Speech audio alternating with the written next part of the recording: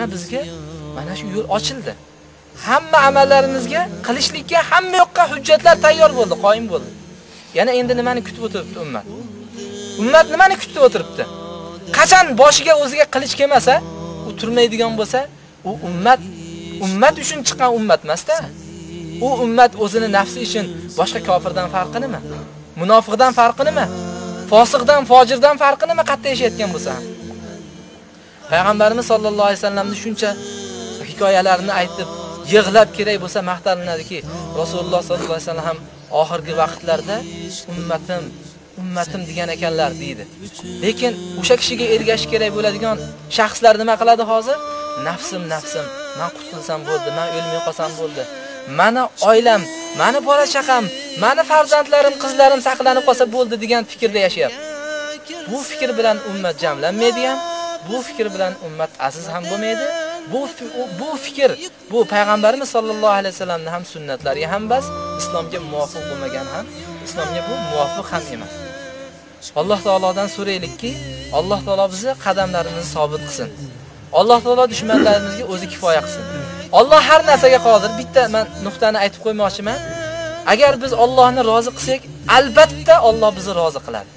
Alloh bizni xafa qilsak, ho maxfiy amalimiz bilan, ho gap so'zimiz bilan, ho qilayotgan noxolis amalimiz bilan agar Allohni xafa qilsak, Alloh bizni ham xafa qiladi. Bu ummatlar shuncha tarixi Qur'onda zikr qilingan. Nima uchun shular zikr qilingan? Eslatishlik uchun. Allohni biz rozi qilsak, Alloh albatta rozi qiladi.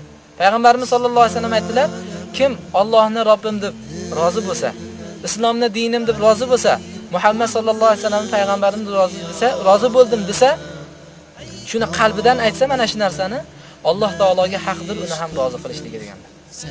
Birodarlar, bu bir odam bor. Hozir shu yurishiga norozi, imkon bo'lsa shu yerdan qutulib ketsam degan odamlar bor.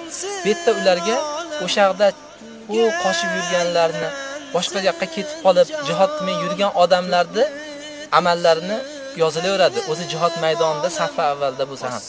Bir odam bor, o'zi uyida yotadi, to'shagida yotadi, qalbi "E, men bir imkonim bo'lganda, yo'lim topilib Allohning yo'liga jihodga chiqalganimda men Allohning yo'lida jang qilardim, qurbon bo'lardim, jonimni qurbon qilardim" deb yotgan kishi bo'lsa, agar umrida bir qurol ushamagan bo'lsa ham unga mana shu birinchi safda turganlarda ajri bor.